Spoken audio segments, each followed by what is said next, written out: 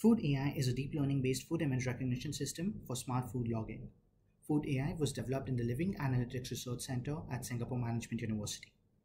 Improper food consumption is a very common reason for several health issues globally.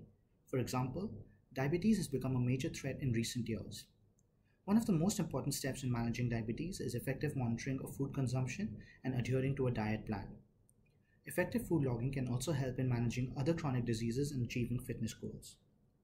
Manually noting down what we eat is one solution, but such an approach is tedious, non efficient, and non effective. But people have enjoyed taking photos of food and posting it on social media. Can we use this habit for effective food logging? This is exactly what we have done in collaboration with the Health Promotion Board of Singapore. The Healthy 365 app developed by them has a feature for a diet journal for food logging.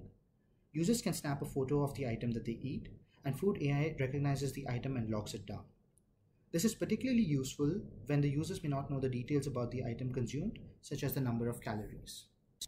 So how do we build Food AI? Initially, we collected a large dataset of food images which we call SG Food. We identified hierarchies and various categories of food and introduced a notion of visual foods. For example, coffee, with and without sugar are separate items, but being visually indistinguishable, they are categorized as the same visual food we collected over 400,000 images from 756 different classes of food with special attention to items popularly consumed in Singapore.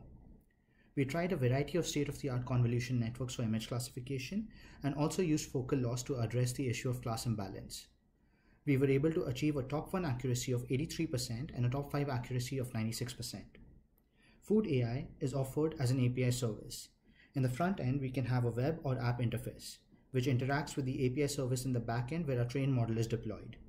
The model training and data annotation is done offline. Currently, we have over 100 organizations globally that use Food AI. We receive a variety of queries from our users. While most are easy to recognize, we face some challenging scenarios. We have cases of large interclass similarity where different classes look similar, such as tea and coffee. We have cases of large intra-class diversity where images from the same class can look very different, such as mixed rice. Sometimes users send images of incomplete food.